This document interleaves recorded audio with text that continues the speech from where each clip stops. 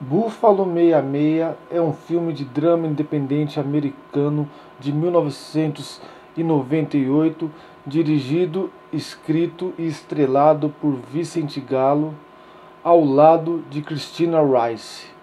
O filme conta a história de Billy Brown, um homem recém-saído da prisão que retorna à sua cidade natal em Buffalo, Nova York, em busca de vingança contra seus pais por negligência durante a sua infância. Billy lida com seus problemas emocionais e traumas do passado. Uma das coisas que mais aprecio em Buffalo 66 é o estilo visual e a cinematografia do filme. A paleta de cores sombrias e a maneira como a câmera é usada para criar uma sensação de claustrofobia e opressão. É incrivelmente eficaz em transmitir a sensação de isolamento e desesperança que o personagem principal está enfrentando. Além disso, a performance de Vicente Gallo é excepcional. Ele consegue transmitir a complexidade emocional do personagem de uma maneira muito crua e realista. A sua química com Christina Rice também é excelente, tornando a relação entre os dois personagens principal muito crível e envolvente. A trilha sonora de Buffalo Bill é um grande destaque, ajudando a criar um ambiente melancólico e nostálgico que se encaixa perfeitamente com a história. A música escolhida é uma mistura eclética que vai do clássico ao rock alternativo e consegue ser tão emocionante quanto as cenas do filme.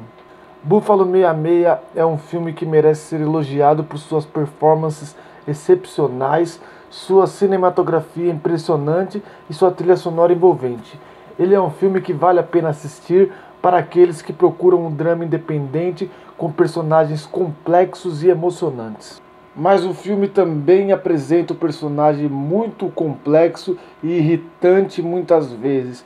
Muitas das coisas que Billy Brown faz são muito obsessivas e são muito abusivas, tanto quanto a pessoa de Christina Rice, que é a pessoa que se envolve com ele, tanto quanto a relação que ele tem com um amigo no qual ele é maldoso muitas das vezes e na relação também com os pais.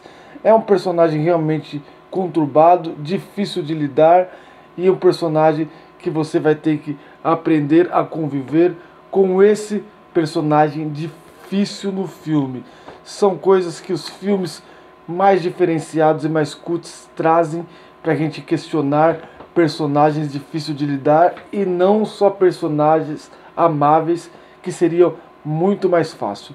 E com essa complexidade de personagem e o protagonismo total do Vicente Galo, faz com que o filme seja aquele filme de personagem e marcante. Buffalo 66 é um filme que uma vez assistido gruda na sua cabeça e acompanha a sua vida.